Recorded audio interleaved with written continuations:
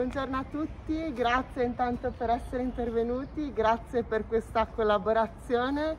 Oggi appunto in occasione del 29 anniversario delle stragi di Via eh, D'Amelio e di Capaci abbiamo ricevuto dalla Fondazione Falcone il lenzuolo appunto che abbiamo a, mh, mm, esposto al quartiere. Questa mattina ci sono io, vicepresidente del quartiere Silvia Manfredini, ma vi porto anche i saluti del nostro presidente di quartiere Vincenzo Naldi.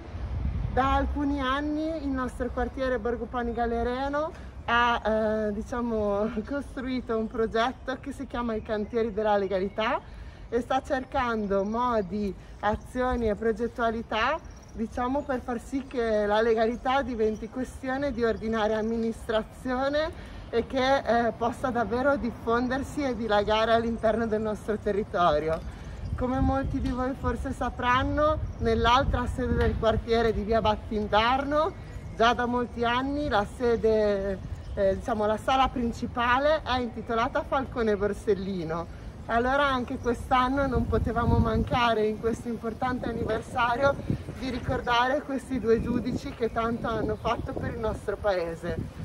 Loro si sono battuti e purtroppo sono stati uccisi perché hanno cercato di combattere la mafia.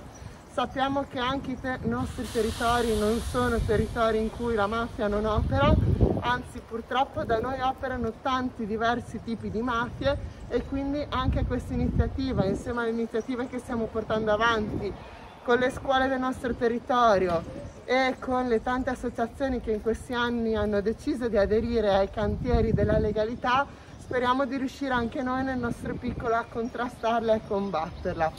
Oltre all'Enzola appunto aderiamo diciamo con eh, davvero onore al progetto Spazi Capaci, Comunità Capaci lanciato dalla Fondazione Falcone insieme all'Arma dei Carabinieri che sta partendo proprio in questi giorni a Palermo e quindi auspichiamo che anche nei prossimi giorni con la compagnia di Borgo Panigale e gli altri carabinieri anche dell'Arma di Bologna possiamo davvero portare avanti progetti in questo senso.